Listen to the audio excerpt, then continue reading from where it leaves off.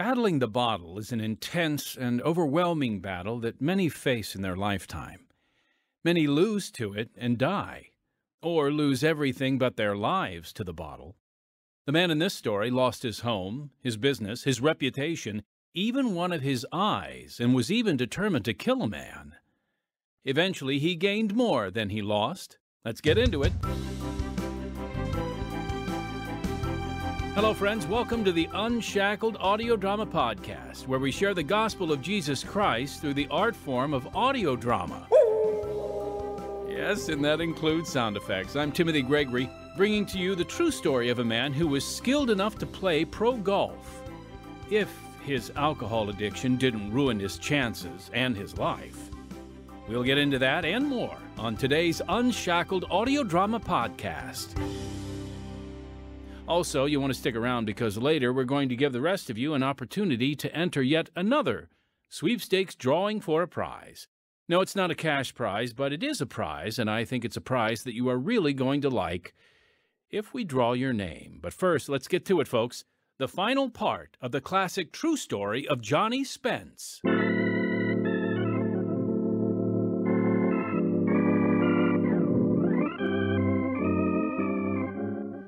Mrs. Spence, Yes. you can see your husband now. How is he? Lucky to be alive. When they brought him in, I didn't think he would live. They said he was thrown some 70 feet. He, uh, lost a lung because a piece of the steering wheel punctured that and his abdomen, Oh, my. and five of his teeth were sheared off. His left hand is broken, and he has cuts and bruises all over his body. It's a miracle that he survived. I've played golf with your husband, Mrs. Spence, and if he didn't drink so hard, he'd still be a great golfer. He'd also be a lot healthier. Last week, we heard how the man in our story was a pro golfer who might have made the record books except for his addiction to alcohol. In this conclusion of his testimony, we'll hear how he sank to the bottom, desiring death. Parental guidance is suggested as violence is part of this true account of Johnny Spence from the classic files of Unshackled.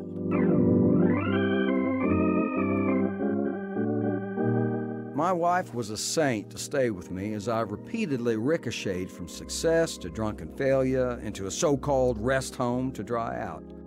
I made thousands of dollars a week selling golf equipment at tournaments around the country, but I couldn't stay sober.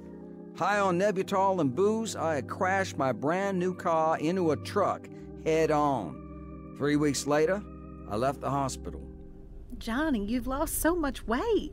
Your skin and bones. Ah, I have a cast iron constitution, Dottie. Why don't you stay home from that meeting in Chicago? The pro golfers? No way. I'll be strong enough in three weeks. Besides, I have a deal going to use Miss America in our golf tournaments. Please fly instead of driving. I will, and don't worry. I won't drink. Promise. I managed not to drink on that trip, but my resolve eventually vanished in the face of screaming nerves and pounding headaches. I'd rush to a bar where my shaking hands couldn't lift the glass, and I had to bend over and slurp the drink. Many times I left Dottie at a restaurant or other public places while I rushed to the rest home. They weaned me off alcohol by giving me drugs, but the last step was Demerol, a narcotic. One night at the rest home, a bunch of us were high on Demerol, singing raucously when I threw my arm around a big man's shoulder and he lashed out furiously, plucking out my right eye. Half blinded with rage and pain, I chased him right through the French windows. I'll kill you! I'll kill you!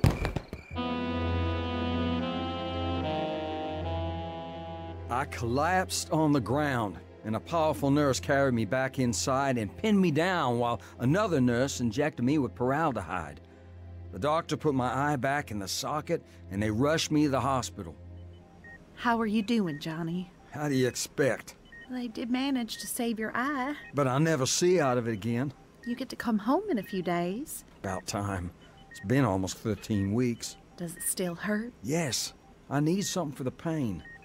It's a terrible blow. I'll never play golf like a champ again. I'm sorry, honey. I look like a freak. I'll have to wear dark glasses. You look good to me, Johnny. I'm gonna get that guy. I'm gonna find out where he lives and blow him away with my shotgun. For weeks, I sat in front of his house, a loaded shotgun in my lap. But he'd fled the state and didn't return for more than a year. Meanwhile, I lived on pain meds as I tried to save my business. I told people a golf ball had struck me in the eye. But I drank more and worked less as I went from one clinic to another. Once I became so violent, they put me in a straitjacket. In desperation, I sold property and equipment to pay for my drinking, drugs, and cures. When I ran out of things to sell, I borrowed from guys at tournaments. Hey, Johnny, what's up? I need cash fast. Uh, you loan me a couple hundred dollars? How about selling me that trailer instead? Okay. I'll let you have it for three thousand. I'll give you a thousand bucks. I paid seven thousand. You crazy, man? You're walking away from the best offer you'll get. Okay. I'll take a thousand. The offer's down to 750 and dropping fast. okay, friend. You win. Let me have the 750. That money kept me in the rest home five days. Then I called Dottie to pick me up. As soon as we arrived, I gave myself a dose of paraldehyde and fell asleep. In the night, I woke up to Dottie's moans. She was having a gallbladder attack so painful she had called my mother, who lived next door to us. But my only concern was finding the bottle of paraldehyde. My older brother was also there. Calm down, Johnny. Not till I find my medicine. Where is it, Dottie? I don't know, Johnny. Oh. You hid it from me, you and Mom. No, no, we didn't. Get up and help me look. Uh, Let her alone. uh, Can't you see she's in terrible pain? Mom called an ambulance for her. I want that bottle with my medicine. Let go of me, Johnny. Help me find it or I'll shove you down the stairs. Are you insane? Where is it? All right? I warned you. Oh, no. Oh, oof. Ah, you hit a new low, Johnny. You're all trying to kill me. Well, I'll kill all of you first. I grabbed my shotgun out of the closet and pointed it at Mom, standing at the foot of the stairs. She ran outside, and I followed, prowling through the dark like a rabid dog. Finally, I went back to the house. The ambulance had arrived, but someone had called the police. As I stood over my wife, he hit me from behind, and I woke in the same hospital as Dottie. She was in surgery. I was in a straitjacket. I wanted you to know that Dottie came through the surgery okay. Fine. Now tell them to take off these shackles. I won't tell them how to handle you, Johnny. Let me out of here! I'm in pain. I need something for the pain. You're the pain.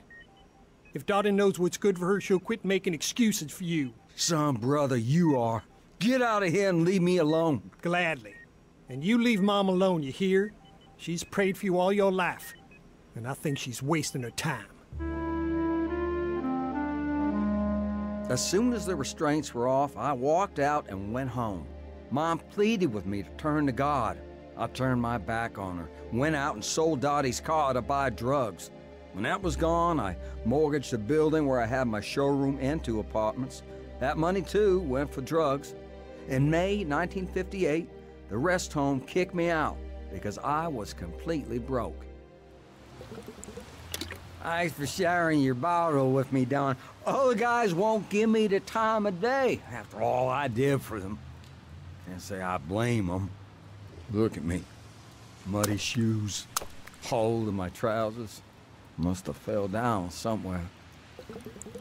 Oh, I'm just a bum. Nothing but a bum.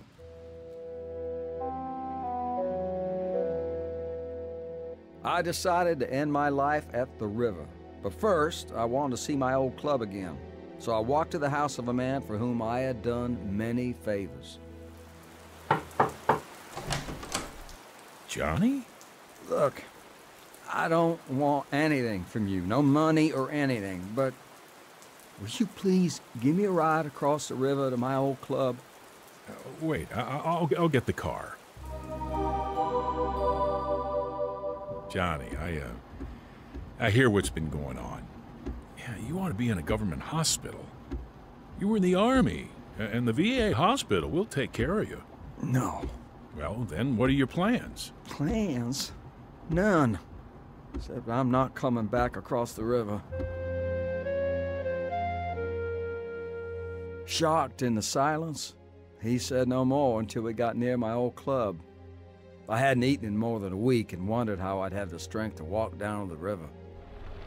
You'll have to open the door for me. Yeah, help me get out. Look, Johnny. I'm not gonna leave you here in the mud and rain. You can't even stand up. Let me take you to the VA hospital. Oh, all right. Everything went black, and I awoke in a barred room with a guard watching me through a peephole in the door. My hands were shackled to the side of the bed. Stupefied and weak, I watched with my one good eye as the door opened and a doctor and nurse floated toward me. They must have thought I was in a coma. An IV is all we can do for him, nurse. A little nourishment. I think you better call his family. And then call the chaplain. I don't think he's gonna make it. He's. dying. Folks, we'll get back to Johnny's story in just a moment, but first, I want to share a bit about how our ministry is able to bring hope to people all over the world. Unshackled is now in its 71st year of spreading the good news through powerful stories about real people. Our success is a result of God's blessing and the involvement of, well, supporters like you. When you contribute to Unshackled, it has a direct impact. Your support allows us to hire quality writers, talented actors, as you can hear, a skilled production team, and a devoted staff. Through your support, we're able to share Unshackled worldwide. So, in order to continue the work of spreading the gospel and allowing us to offer this program for free, won't you consider making a donation to Unshackled? It's really quite easy. All you need to do is click on the live link, if there's one where you're listening, or visit our podcast website at unshackledpodcast.org. That's unshackledpodcast.org, and then click the donate button. Or you can always write a check, unshackled. We take checks. You mail that check to 1458 South Canal Street, Chicago, Illinois 60607. We thank you for your partnership in our ministry, and now back to the final part of the classic story of Johnny Spence.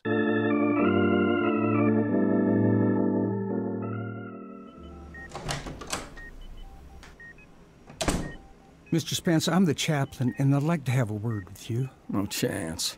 Get away from me. I, I want to pray for you. No, don't waste your time. Let's pray to God to help you. If there is a God, he turned his back on me a long time ago. So leave me alone and get out of here. Please. Go all right.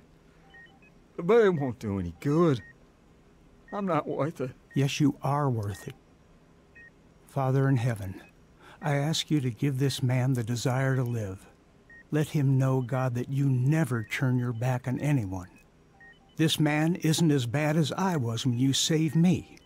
I was such a horrible sinner. Father, since you saved me, I know you can save him.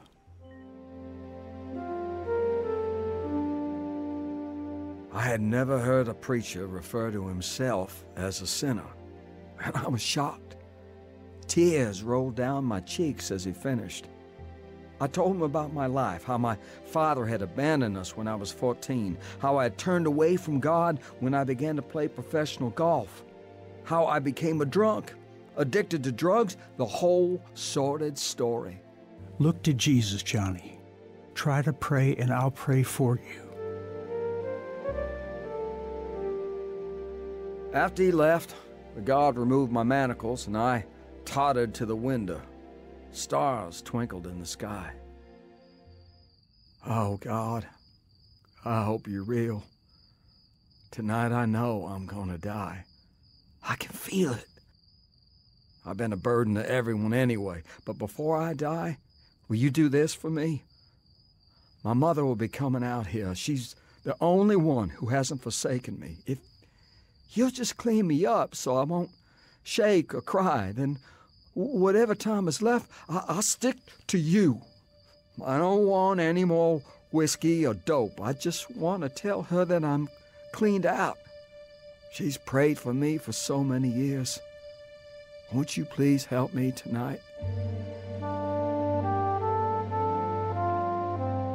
I her back to bed and collapsed. When the night nurse came with morphine, I refused and asked her to pray for me. She got down on her knees right there and prayed. In spite of the withdrawal pains, I slept. And in the morning, my first visitor was the chaplain. There's something I want you to read.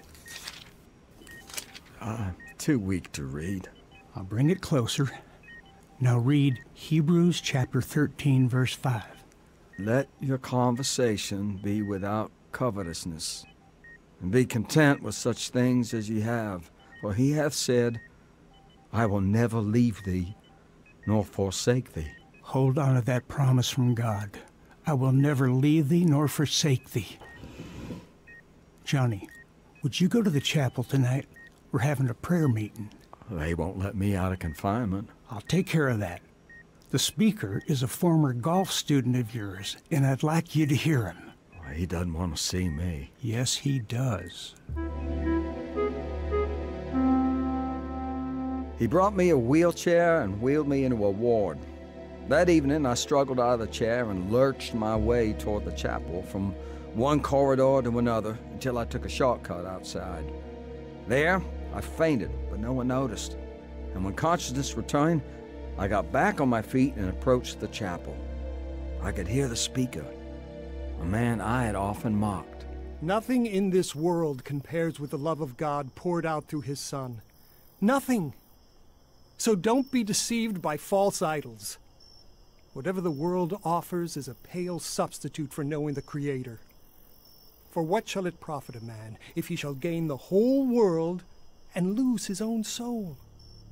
Or what shall a man give in exchange for his soul? My mother had quoted that verse to me years before when I turned away from God to play professional golf. My heart was pierced as I continued to stagger toward the chapel. Finally, I reached the door. You see, at the cross, God was in Christ reconciling the world unto himself. Jesus Christ paid the penalty for your sin and mine with his righteous blood. For he hath made him to be sin for us who knew no sin, that we might be made the righteousness of God in him. If any of you are suffering from fear or anxiety or any other ailment, turn it over to God. Let Jesus Christ take your burden. He said in Matthew chapter 11, Come unto me, all ye that labor and are heavy laden, and I will give you rest. Raise your hand if you want to repent of your sins and receive him as your Savior. Unable to open the door, I pressed against the screen and then raised my hand. He saw me and strode down the aisle to where I leaned. He opened the screen door and peered at me. Aren't you Johnny Spence? Yes. Yes, I am. Did you raise your hand? Yes, I did. Do you mean business with God? Yes. I mean it more than anything in this world. Thank you, God. Oh, thank you. I've been praying for you, Johnny, for more than eight years.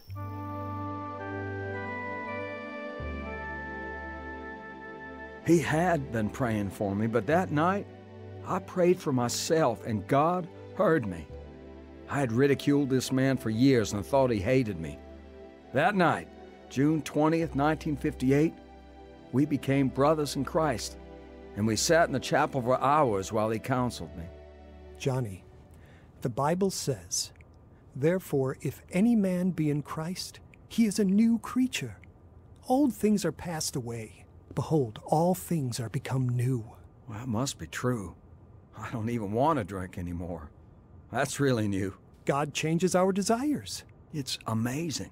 It's called the new birth, being born again of the Spirit of God. If I could only have my sight back. Sometimes we have to live with the consequence of our sin. But God will give you the grace to do that. He says His grace is sufficient for us, and His strength is made perfect in our weakness. What exactly is grace? God's favor. None of us deserves it. But He shows Himself strong on our behalf. He resists the proud, but gives grace to the humble because He wants us to depend on Him. What happens if I fail? We all fail. But the Bible says in 1 John chapter 1, if we confess our sins, he is faithful and just to forgive us our sins and to cleanse us from all unrighteousness. Do you think he can really love someone like me? Of course. Johnny, he demonstrated his love by sending his only son to die for our sins. He took me back to my room where the night before I had wanted to die. Now I was filled with peace, joy, and eternal life. Four days later, I was discharged.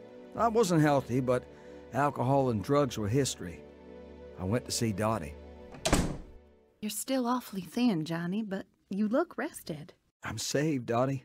I received Jesus Christ as my Savior. Your mom told me. Her prayers were answered. I'm not the same, Dottie. I don't know if you can see the difference yet, but I have a new life. I can see something in your face. You seem more peaceful. I made so many promises I didn't keep. I'm so sorry. I wish I could make it up to you. Well, we have the rest of our life. Does that mean you're willing to try again? Yes, Johnny. Fourteen weeks later, I hitchhiked to Charlotte to hear a famous evangelist. We had met before on the golf course, and he spotted me waiting by the back entrance of the Coliseum. He invited me to his dressing room, where we talked. No, I get it. There's so many other things that pull on you in the professional sports world. I've spent my life in places where people don't know him. They would listen to someone like you because you understand them. I heard about your conversion, and many people say it won't last. I know that it will last, if it's real. It is. Johnny, would you be willing to give a brief testimony of how the Lord saved you during the meeting tonight? Oh, I couldn't do that. I, am so new to. Are you ashamed? No, sir. I promise God that I'd never be ashamed to live for Him or to tell what He has done for me. The Lord will give you the right words to say, Johnny. I remember reading that in my Bible. Then will you trust Him to lead you? Yes, I will. Good. Let's pray. Nearly 15,000 people crowded into the Coliseum that night, but I wasn't nervous as I told them how God had saved me and changed my life. Then my evangelist friend preached a sermon telling them about the salvation that Jesus our Savior offers to everyone. The Bible says in Romans chapter 6 verse 23, For the wages of sin is death, but the gift of God is eternal life through Jesus Christ our Lord. Every sin brings death, separation from God, and there is no way to erase your sins. But God commendeth his love toward us in that while we were yet sinners, Christ died for us. My friend, it was God's great love that sent Jesus to the cross so you could go to heaven. You can't earn your way. Heaven, eternal life, is a gift. All you have to do is repent, turn from your sin to the living God, and receive God's gift. From that night, I traveled and gave my testimony wherever I was invited. One day back in Columbia, I went to see Dad. He was sitting on the porch in a rocking chair. Why, hello, Johnny. Hello, Pop. I thought it was about time I came to see you. I'm glad you did, son. What are you doing these days? Just working for the Lord. I don't quite understand. Well, I go wherever I'm invited and tell people how miserable my life was until Jesus saved me. I hope to help those that hear. You get paid to do this? Well, I don't charge them, but I go on faith, depending on God to provide for me. I see you brought a Bible. Yeah, I, uh, I'd like to read you something that Jesus said in Matthew chapter 6. Okay. Lay not up for yourselves treasures upon earth, where moth and rust doth corrupt, and where thieves break through and steal. But lay up for yourselves treasures in heaven, where neither moth nor rust doth corrupt, and where thieves do not break through nor steal. For where your treasure is, there will your heart be also. But seek ye first the kingdom of God and his righteousness, and all these things shall be added unto you.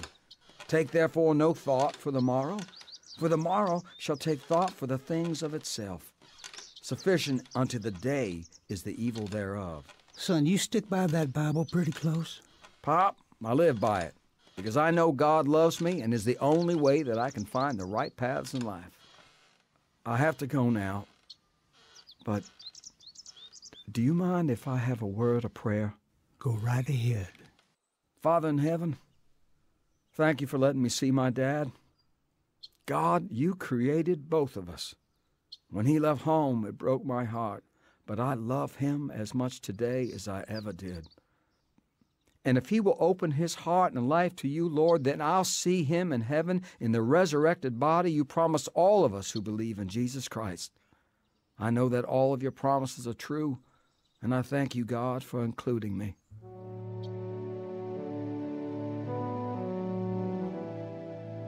As I stood up to leave, my father, who had never shed a tear that I saw, was weeping. He told me he had also come to the Lord earlier. I never saw him conscious again. Four weeks later, he died of a stroke. Since my salvation, I have never played golf in the Lord's day. I would go to the end of the earth to tell others about Jesus who set me free of alcohol and drugs. Some say addiction is a disease, but I say it's sin. And only God can set you free of sin. If the Son therefore shall make you free, ye shall be free indeed. Listening friend. Jesus Christ will set you free of whatever has you bound when you turn to Him. If you've never put your trust in Christ Jesus as Savior, why not do so now? If you need help making this crucial decision, or you want to be connected with resources that can help you, get in touch with us here at Pacific Garden Mission, 1458 South Canal Street, Chicago, Illinois, 60607 or call 1 888 Need Him. Now, we love hearing from our listeners here on the Unshackled Audio Drama Podcast, so send us your questions and we'll answer them here. It can be something you're curious about or just something you want to share with us. All you have to do is write us at podcast at unshackled.org or call and leave us a message at 312 281 1264. We'd love to hear from you. Now, before we get to our sweepstakes drawing info, I just want to remind you to subscribe or like our Unshackled audio drama podcast. You can even share it or tell a friend. We'd also love for you to review or rate our podcast, and don't forget to check out our other podcasts on this same platform Unshackled Daily Devotionals and Unshackled in Person. We appreciate your input and involvement in our ministry. And again, please consider supporting us so we can freely offer quality Christian programming to the world. All right, the prize for this sweepstakes contest is another beautiful wooden scripture plaque. And it's John 1:29, which proclaims, "Behold the Lamb of God, which taketh away the sin of the world." That's wonderful, isn't it? Well, this plaque is gorgeous, especially if you're looking for daily inspiration from Scripture. You will love this authentic and very unique wooden plaque. The plaque has been sawn from a tree branch. Sawn, is that a word? Well, it is now. Or log, and cut into such a way to retain as much of the bark around the perimeter as possible. And the bark around this one, well, it's gorgeous. This plaque has been handcrafted around the the natural character and beauty of the wood that God created. Now, if you'd like a peek at this scripture plaque, just visit our podcast website, unshackledpodcast.org, and stop by the audio drama page for a picture. Unfortunately, we're only able to mail this plaque to locations within the United States, so our drawing is limited to U.S. addresses. But if you reside in the U.S., all you have to do to enter our sweepstakes drawing is call 312 281 1264 or email podcast at unshackled.org and give us your name, phone number, and email. Your name, phone number, and email. The winner of the sweepstakes for this beautiful scripture plaque will be announced June 27th, but the deadline for entry is June 11th. We look forward to hearing from you. And next time. I'm tired of sneaking around, Dawn. I know. Look, I want to be with you all the time. Me too, Brennan. Dawn Dolph kept searching for connection in the world. No, Dawn's not here right now. Yeah, I know this is her cell phone. Uh, Brennan, who is it, honey? Yeah, well, she didn't want to talk to you. Brennan. You're with me now. When she turned to others to seek validation, she wound up feeling worse than before. I can't get to sleep, Kate. It always helps to talk to you about it. You always know what to say to calm me down. Dawn, you can't call here at all hours. My family is trying to sleep. Now enough is enough. But she had to look up to find someone she could really count on. All this time, I've been depending on the things of this world to fix my pain. I'd rather die than go back to my old patterns of living. Change me. Another testimony the true story of Dawn Dolph. Soon on Unshackled. Heard in the classic true story of Johnny Spence Part 2 were Stephen Spencer, Elizabeth Argus, Demetrius Troy, John Green, and Jim Craig. Original music Don Badorf, sound effects Demetrius Troy, sound assistant Martin Robinson, recording engineer David Pierczynski, audio engineer Michael Kahn, script Kenitha Gabler and Jack Odell. That's it for this week's Unshackled Audio Drama Podcast. So until next time, unless our Lord returns before then, I'm Timothy Gregory, your brother in Christ.